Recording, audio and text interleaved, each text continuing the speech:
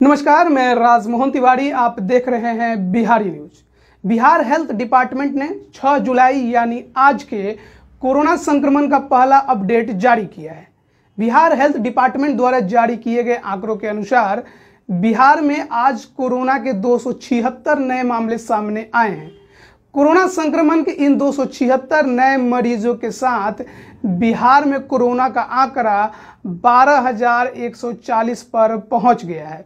यानी बिहार में कोरोना का चयन अभी ब्रेक होता नज़र नहीं आ रहा है। जाँच की रफ्तार बढ़ने के साथ ही कोविड 19 के मामले भी लगातार बढ़ते जा रहे हैं। अगर बिहार में रिकवरी रेट की बात करें तो वो लगभग तिहत्तर फ़ीसदी के आसपास है।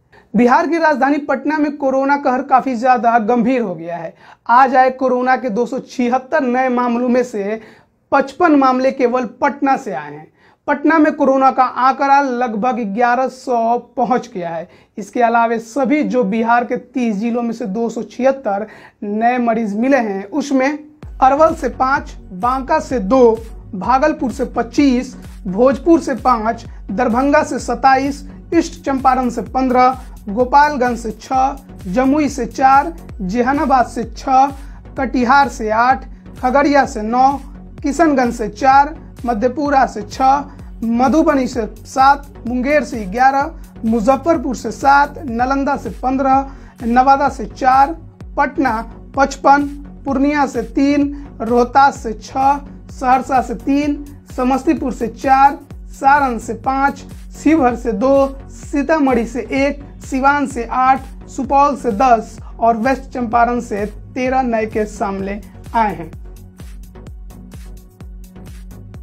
पटना और बिहार की गंभीर होती स्थिति को ध्यान में रखते हुए पटना में सरकार के द्वारा कोरोना के मरीजों के लिए कई जगहों पर आइसोलेशन सेंटर्स का निर्माण किया गया है। इसको लेकर जिला प्रशासन द्वारा आइसोलेशन सेंटर्स की सूची और वहाँ रहने के लिए मरीजों की क्षमता निर्धारित की गई है। साथ ही बेडों की संख्या को भी बढ़ाया गया है। सबसे ज़्यादा चार सौ सैंतालीस बेड की व्यवस्था एनएमसीएच में है।